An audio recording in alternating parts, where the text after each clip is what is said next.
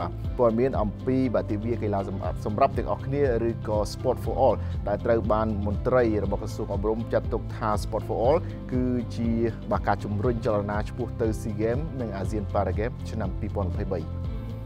នាយកដ្ឋានអប់រំកាយនិងកីឡានៃក្រសួងអប់រំយុវជននិងកីឡាកាលពីចុងសប្តាហ៍កន្លងទៅបានរៀបចំទិវាកីឡាសម្រាប់ទាំងអស់គ្នាឆ្នាំ2022ក្រុមប្រធានបទយើងរួមគ្នាដើម្បីអភិវឌ្ឍកីឡាជាតិនៅពហុកីឡដ្ឋានជាតិដែលព្រឹត្តិការណ៍នេះធ្វើឡើងក្រោមវត្តមានអាដាមប៊ូជុំសេរីអនុរដ្ឋលេខាធិការក្រសួងអប់រំយុវជននិងកីឡាហើយអាដាមបានចាត់ទុកកម្មវិធីនេះគឺជាការជំរុញចលនាជាតិមួយដើម្បីគ្រប់គ្រងដំណើរឆ្ពោះទៅស៊ីហ្គេមនិងអាស៊ានប៉ារ៉ាហ្គេមឆ្នាំ2023យោងតាមរបាយការណ៍នាយកដ្ឋានអប់រំកាយនិងកីឡាទិវាកីឡាសម្រាប់អ្នកគ្នាឬ Sport for All ដែលធ្វើរយៈពេលមួយព្រឹកនេះនៅបាទ នៅរាជធានីភ្នំពេញគឺយើងឃើញថាមានលោកគ្រូអ្នកគ្រូនិងសិស្សនិស្សិតក្នុងរាជធានីភ្នំពេញចូលរួមប្រមាណជា300នាក់គរុនិស្សិតវិទ្យាស្ថានជាតិអប់រំកាយនិងកីឡាចំនួន150នាក់សមាគមសីស្លាប់ខ្មែរចំនួន107នាក់មហាជនចំនួន259នាក់ដែលសរុបប្រមាណជាជាង800នាក់ធ្វើការប្រកួតលើ5ប្រភេទកីឡារួមមានរត់ចម្ងាយ4គីឡូម៉ែត្រកីឡាបាល់ទះបុរសនារីបាល់បោះបុរសនារីកីឡាសីស្លាប់ខ្មែរនិងការហាត់ប្រាណតាមចង្វាក់ភ្លេងជាដើម អាដាមប៊ូជុំសេរីមានប្រសាសន៍ថាកីឡាសម្រាប់អ្នកនរគ្នាគឺជាទិវាមួយរបស់អន្តរជាតិដែលតែងរៀបចំរៀងរាល់ឆ្នាំហើយក៏ជាផ្នែកមួយដែលក្រសួងអប់រំយុវជននិងកីឡាបានយកចិត្តទុកដាក់ផងដែរ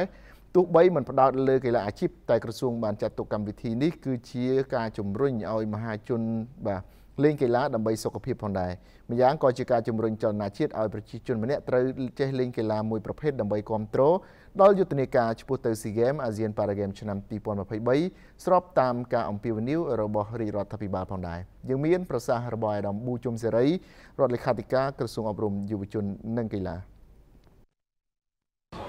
ការរៀបចំការប្រកួតកីឡាសម្រាប់ទាំងអស់គ្នា នៅក្នុងឆ្នាំនេះហ្នឹងគឺឆ្លើយតបទៅនឹងអ្វីដែលជាការសម្រេចរបស់អង្គការ UNESCO ដែលគេបានកំណត់ថានៅក្នុងបណ្ដាប្រទេសជាសមាជិកទាំងអស់ត្រូវតែរៀបចំកម្មវិធីប្រកួតកីឡានៅតាមបណ្ដាប្រទេសរបស់ខ្លួននោះជាទិវាជាទិវាជាតិជាទិវាជាតិនៅកីឡាសម្រាប់អ្នកនរគ្នានេះហើយគោលបំណងនៃការរៀបចំកីឡាទិវាជាតិរបស់យើងនេះគឺទីមួយដើម្បីបំផុស សំខាន់បំផុតឲ្យប្រជាពលរដ្ឋហ្នឹងគាត់ចូលរួមធ្វើការហាត់ប្រាណដើម្បីពង្រឹងសុខភាពសុខុមាលភាពផ្ទាល់ខ្លួនរបស់គាត់និងជាការរួមចំណែកមួយក្នុងការកែប្រែសង្គមជាតិរបស់យើងឲ្យទៅជាសង្គមជឿនលឿនដែលប្រើប្រាស់តាមរយៈការប្រើប្រាស់ការចូលរួមហាត់ប្រាណនិងលេងកីឡានេះការហាត់ប្រាណនិងលេងកីឡានេះគឺមានប្រយោជន៍សំខាន់ណាស់នៅក្នុង ការអភិវឌ្ឍកាយសម្បទាសរីរាង្គហើយជាពិសេសផ្ដល់នូវការសប្បាយរីករាយមិត្តភាពសាមគ្គីភាពទំនាក់ទំនងគ្នានៅក្នុងសង្គមអីល្អច្រើនក្រៅអំពីការអភិវឌ្ឍកាយសម្បទាគឺមានការអភិវឌ្ឍ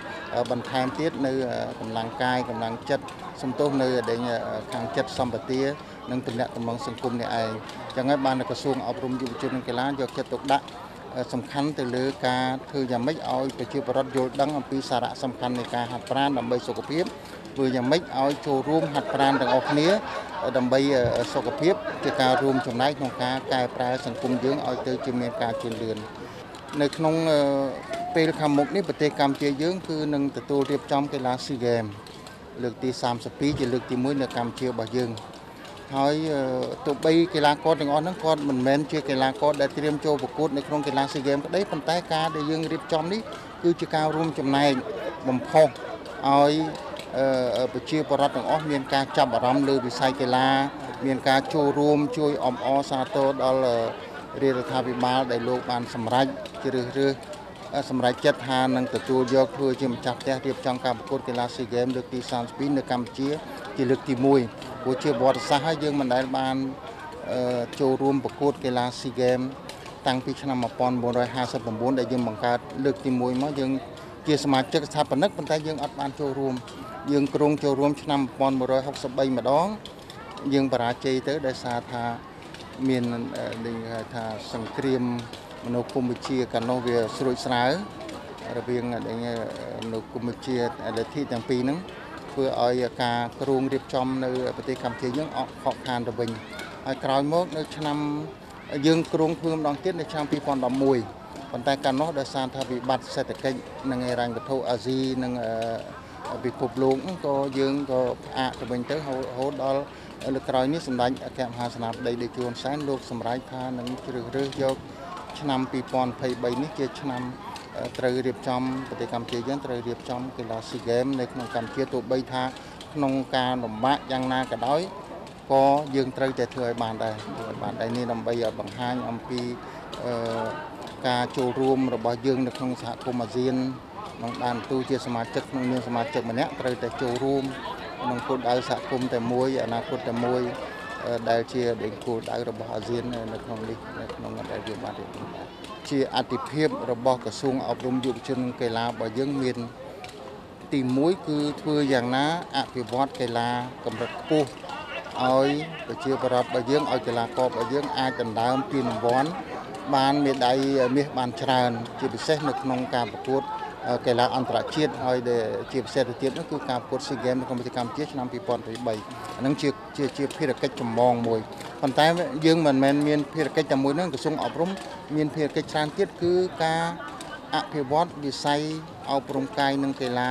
នៅតាមសាលារៀនផងហើយអភិវឌ្ឍវិស័យកីឡាសកម្មភាពកីឡានៅក្រៅសាលារៀនផងដែលយើងកំពុងតែធ្វើនេះគឺជាការអភិវឌ្ឍកីឡានៅក្រៅសាលារៀនជាសកម្មភាពហាត់ប្រាណនិងលេងកីឡា ដែលក្នុងគោលបំណងធ្វើឲ្យសុខុមាលភាពរបស់ប្រជាពលរដ្ឋយើងមានការកើនឡើងផងធ្វើឲ្យខាងបញ្ញាស្មារតីរបស់ប្រជាពលរដ្ឋយើងរឹងមាំផងឲ្យពង្រឹងនៅសាមគ្គីភាពរវាងសមាជិកសង្គមរបស់យើងឲ្យស្រឡាញ់គ្នាកាលណាមកជួបគ្នាចឹងស្រឡាញ់គ្នារាប់អានគ្នាចំណងមិត្តភាពនេះវាកាត់បន្ថយដែលជាជំងឺអ្វីដែលជំងឺពីដើមរបស់យើងមកមានការថ្នាំងថ្នាក់អន់ចិត្តពុនចិត្តអីគ្នាបាក់បែកគ្នាពីមុនមកយើងអាចជា ការរួមចំណែកមួយដើម្បីកាត់បន្ថយជាបាលនៃជំងឺសង្គមទាំងអស់ហ្នឹងផងអញ្ចឹងហើយបានជាក្រសួងអប់រំបានខិតខំប្រឹងប្រែងធ្វើការងារអប់រំកាយនិងកីឡាក្រៅក្រៅគ្រឹះស្ថានសិក្សានិងមិនមែនជាកីឡាកម្រិតខ្ពស់នេះខ្លាំងខ្លាំងព្រោះថាជាជាការងារសំខាន់ជាអធិភាពរបស់យើងដែរក្នុងការលើកស្ទួយវិស័យ កីឡាសម្រាប់ទាំងអស់គ្នាដើម្បីសុខភាពរបស់ប្រជាពលរដ្ឋសង្គមរបស់យើងបាទនេះគឺជាការលើកឡើងរបស់អាដាមប៊ូជុំសេរីអនុរដ្ឋលេខាធិការក្រសួងអប់រំយុវជននិងកីឡាបាទជាស្រ័យផងដែរមុននេះខ្ញុំបាទបានមានការភ័ន្តច្រឡំបន្តិចពាក់ព័ន្ធជាមួយនឹងទូនីតិដែលច្រឡំថាអាយដាមប៊ូជុំសេរីគឺជារដ្ឋលេខាធិការក៏ប៉ុន្តែលោកជាអនុរដ្ឋលេខាធិការនៃក្រសួងអប់រំយុវជននិងកីឡាបាទតាមរយៈការប្រកួតលក្ខណៈសប្បាយរីករាយនេះដែរបន្ទាប់ពីចប់ការប្រកួតសម្រាប់កីឡាករកីឡាការិនីដែលដណ្ដើមបានជ័យលាភីពីលេខ1ដល់លេខ3តាមប្រភេទកីឡានីមួយៗគឺទទួលបាននៅវត្ថុអនុស្សាវរីយ៍ជារង្វាន់លើកទឹកចិត្តផងដែរបន្ថែមពីលើនេះគណៈកម្មការរៀបចំក៏បានថ្លែងអំណរគុណដល់គ្រឹះស្ថាននិងគ្រប់ភាគីពាក់ព័ន្ធដែលបានចូលរួមកម្មវិធីនេះយ៉ាងច្រើនកុះករផងដែរយើងឃើញថាមានអ្នកចូលរួមដល់ទៅជិត1000នាក់នោះនៅក្នុងកម្មវិធីបាទទិវាកីឡាដើម្បីទាំងអស់គ្នាឬក៏ Sport for All Days ឆ្នាំ2022នេះផងដែរបាទប្រិមិត្តព័ត៌មានបន្តយើងបន្តទៅកាន់ប្រភេទកីឡា